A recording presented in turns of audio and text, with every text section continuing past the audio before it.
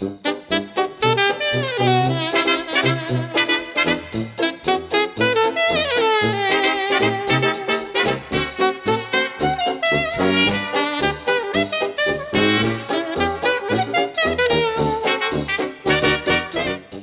tried to make it as easy as possible. You could write them and get a free catalog and go through the catalog and pick the house of your dreams.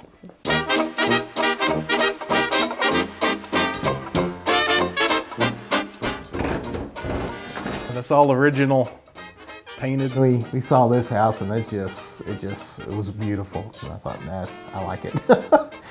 you know, and it was reasonable. Mm-hmm.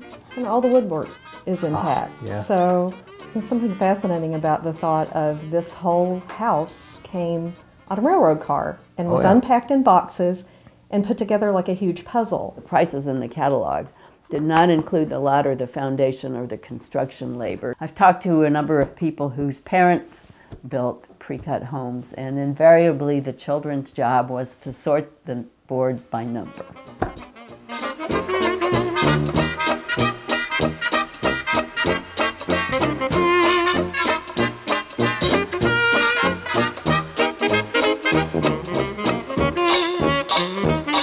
It's a very well-built house.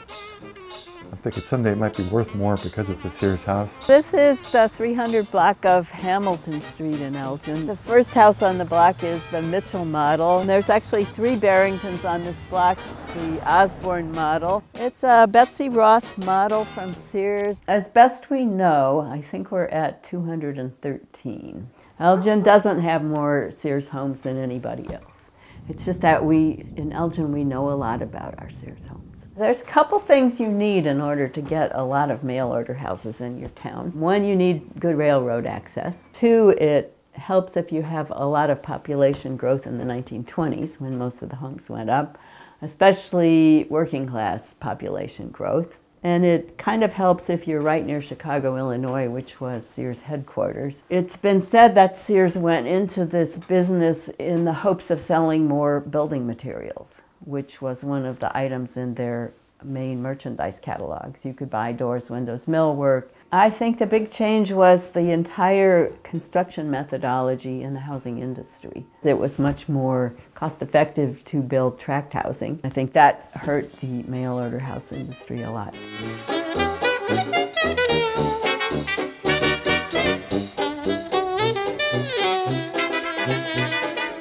This is just, oh my God, it's, it's sculpture. This is uh, all made of old growth timber, which of course you can't buy anymore. I think it was a shame they stopped. They should have just kept going.